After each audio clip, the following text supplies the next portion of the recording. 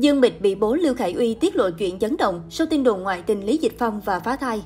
Sau khi Lý Dịch Phong bị bắt vì đi mua bán dâm gây xôn xao trên mạng, con đường ngôi sao 15 năm của anh đã hoàn toàn bị phá hủy chỉ trong một đêm và tất cả các loại tin tức tiêu cực lan truyền rầm rộ trên Internet.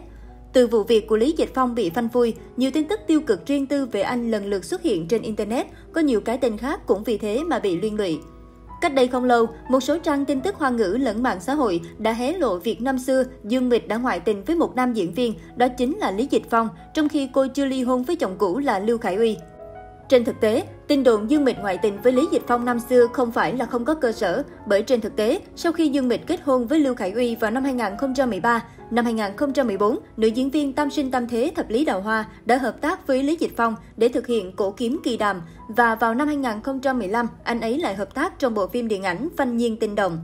Ở hậu trường, cặp đôi cũng liên tục dành cho nhau những cử chỉ thân mật, ngọt ngào, làm dấy lên tin đồn tình cảm giữa hai người. Bên cạnh đó, Lý Dịch Phong còn bị soi ra đã có nhiều hành động nhạy cảm như để tay lên ngực Dương Mịch.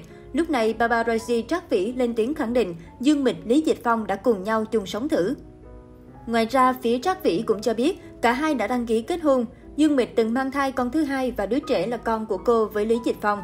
Đáng sợ hơn, đó chính là việc Dương Mịch và Lý Dịch Phong có một số mâu thuẫn, nhưng do không thỏa thuận được buộc vợ cũ Lưu Khải Uy phải phá thai.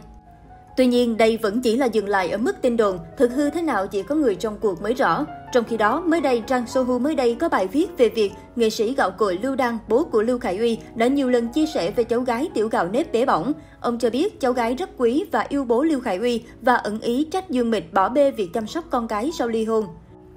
Truyền thông nhận định, bất kể Dương Mịch và Lưu Khải Uy thời còn bên nhau lẫn sau khi ly hôn, Lưu Đăng luôn dành những lời nhận xét không hay khi nhắc đến nữ diễn viên. Điều này cho thấy mối quan hệ của Dương Mịch và phía nhà chồng cũ không hề tốt đẹp.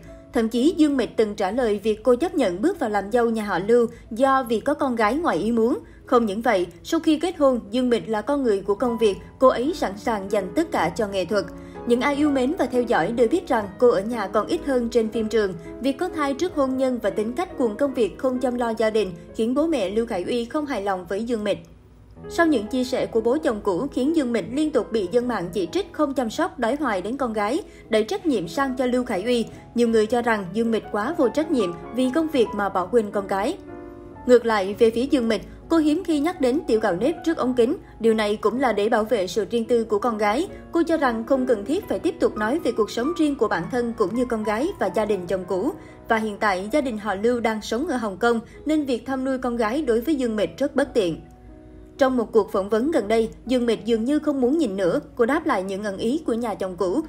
Cô nói, khi đối xử với gia đình và bạn bè, tôi luôn chú ý và tôn trọng đến sự độc lập của nhau. Theo cô, tình cảm với sự yêu thương, quan tâm giữa người thân cần cả sự gần gũi và khoảng cách.